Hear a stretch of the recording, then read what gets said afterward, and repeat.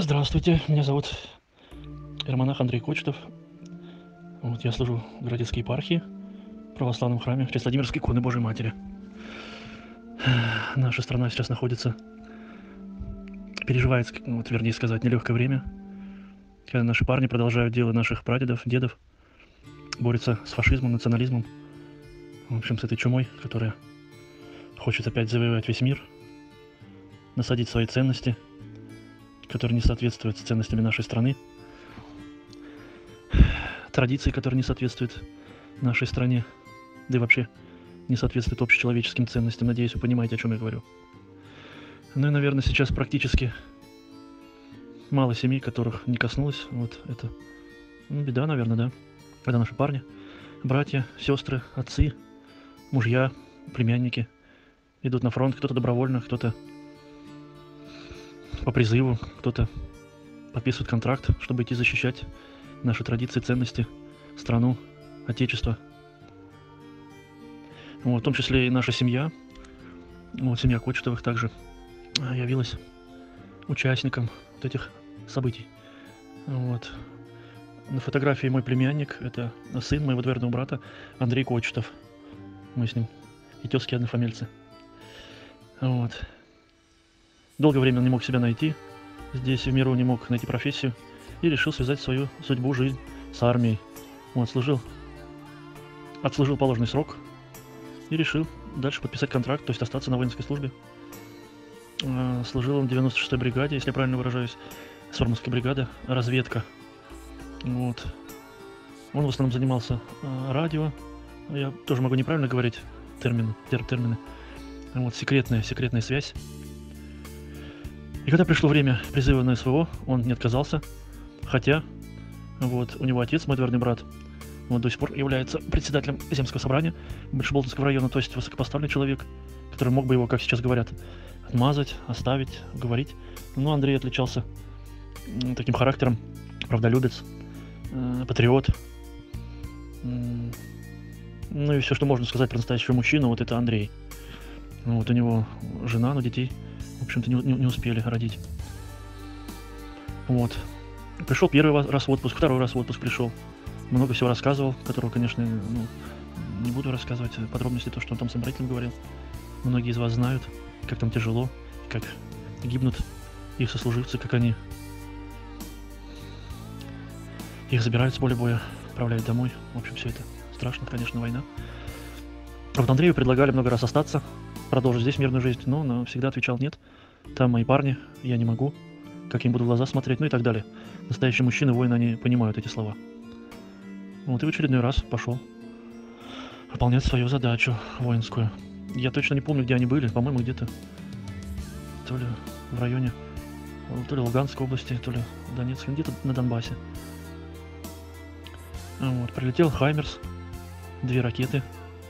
Как потом показало расследование, Местные жители сдали координаты.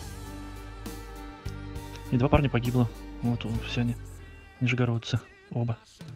Вот. вот. Привезли Андрея спустя уже 40 дней. И так получилось, что хоронили его на праздник Сретения Господня.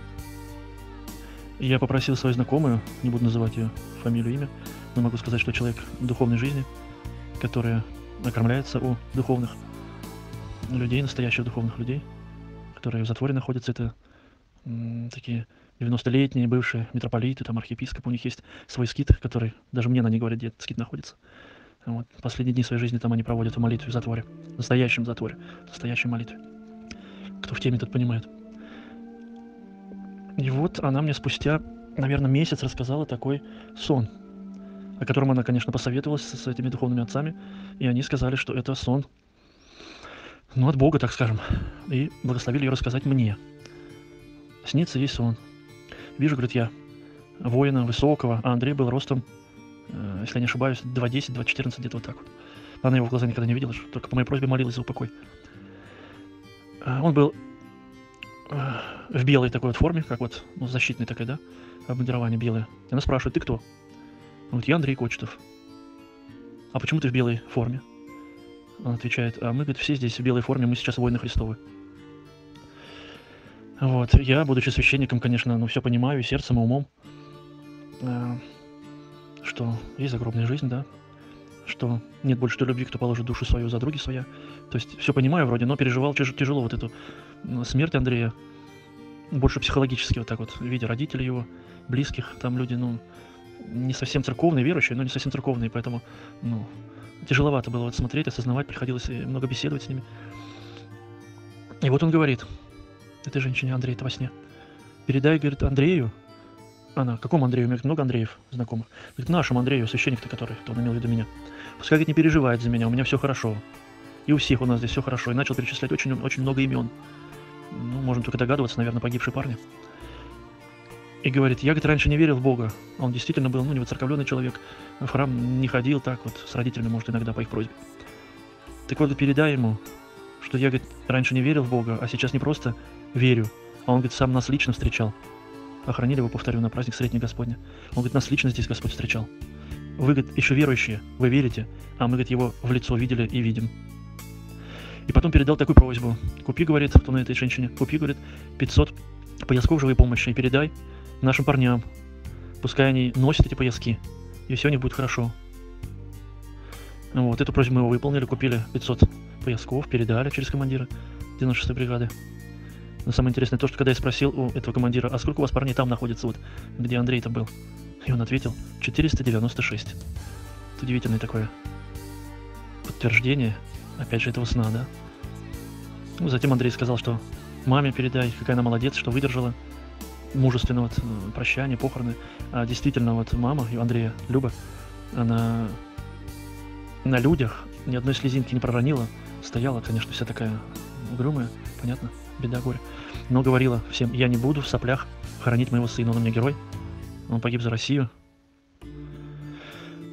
Вот такой случай, которым я хотел с вами поделиться. Поэтому, кто еще сомневается, не сомневайтесь, Бог есть, и та жизнь есть, и парни гибнут за Родину, отдавая свою жизнь за други свои, как написано в Евангелии. Поэтому не верьте, не, верьте, не сомневайтесь, молитесь за них. Мы-то еще пока верим, да, молимся, ожидаем, в надежде живем, в вере, а они уже там дома с Богом, но все равно продолжают нас с вами защищать. Аминь. Аминь, аминь. И Богу слава.